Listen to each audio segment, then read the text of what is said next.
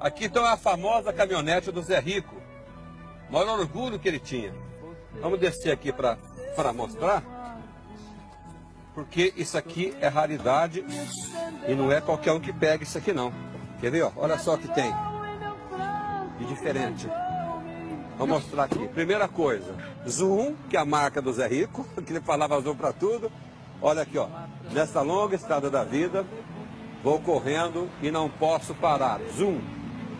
Olha só. Só para você ter uma noção, eu tenho 1,88m. Olha aonde está. Olha essa proporção. Eu tenho 1,88m. Olha onde vai a cadeira. É um cavalo. E aqui, ó, vamos ver aqui atrás. Olha o tamanho desses pneus. Parece pneu de ônibus, são dois. Zoom. Aqui a frase de novo, nessa longa estrada da vida, vou correndo e não posso parar, na esperança de ser campeão, alcançando o primeiro lugar.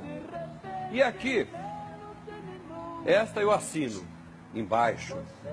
E a assinatura, o autógrafo do José Rico. É a assinatura dele mesmo, não é nada que mandou pintar, não é, é dele mesmo. Vamos aqui do outro lado, para ver como é que é a caminhonete. Ele botou a mesma frase aqui, que é a marca registrada da canção que deslanchou a carreira do milionário José Rico. Aqui, olha só, vamos ver, olha que coisa mais linda. Ela ficou guardada há muito tempo, à frente dela, bem diferente, placa de Londrina. A placa.